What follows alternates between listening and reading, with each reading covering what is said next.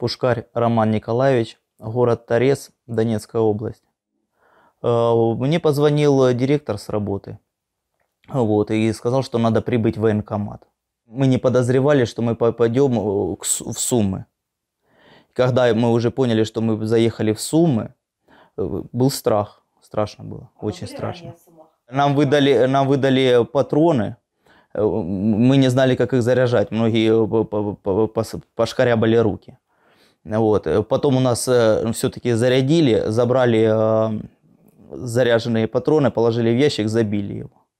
И в итоге он потерялся, вот, э, ну, оно было подписано, вот подсумки вот эти вот.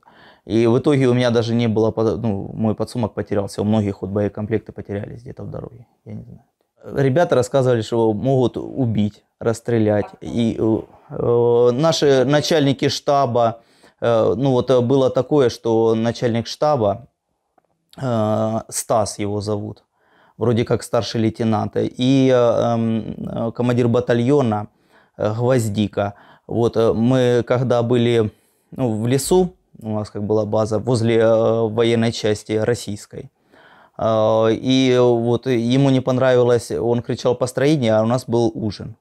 И ему не понравилось то, что пошли все ужинать. Он одного э, парня взял, толкнул и начал возле э, головы стрелять ему. Ну, а другого нашел, он там или выпивший был, или что-то такое. Он взял э, двоих э, человек, точно так же сказал, чтобы его закапывали, и стрелял в воздух в это время. Закопал по шею, раздел, закопал по шею, по шею в окоп. То есть там видно было, что наши жизни для них ничего не стоят. Мы как, как э, рабы для России, копаем для них окопы, э, подбираем за ними, ну, такое, Подбираем кого? ну, подбираем за ними э, как объедки, остатки.